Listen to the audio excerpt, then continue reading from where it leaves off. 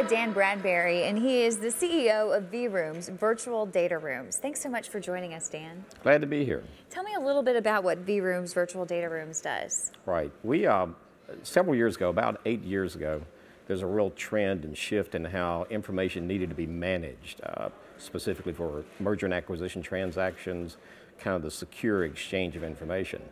So the entire industry of virtual data rooms grew out of what used to be a due diligence war room.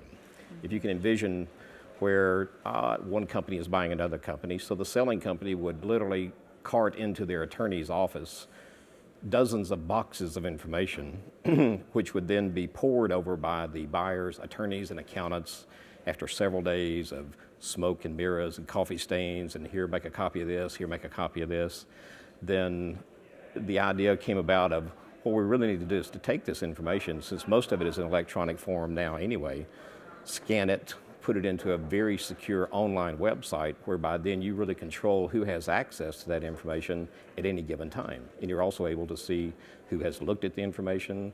Uh, you can arrange the information by security levels so that uh, as a transaction or a deal progresses, they can see more and more information. When we talk about the financial regulatory compliance, how can this area, this industry, the virtual data rooms assist in meeting the new requirements that are coming out of that? Mm-hmm. Right, uh, the Obama administration pushed through a, uh, a heightened requirement from a regulatory standpoint for the exchange of this information. Transparency is the key word.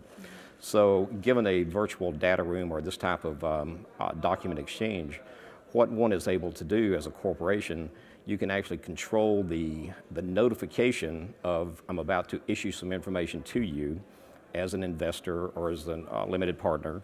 I'm about to information, excuse me, about to uh, issue this information to you, and I'm also going to then track that you have actually picked that information up and put it into a log so that three months down the road, six months down the road, when someone comes in and says, I didn't receive that information, you go back, well, on June the 9th at 9 p.m., you received the information, we may not be able to prove that you read it, but we can prove that it was in your possession.